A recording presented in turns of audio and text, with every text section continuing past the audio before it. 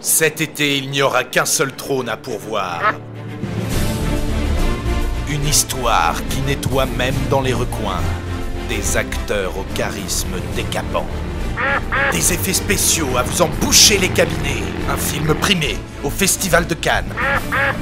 La dernière production de chiottes de Luc Besson. Canard WC, Canard WC, Canard WC.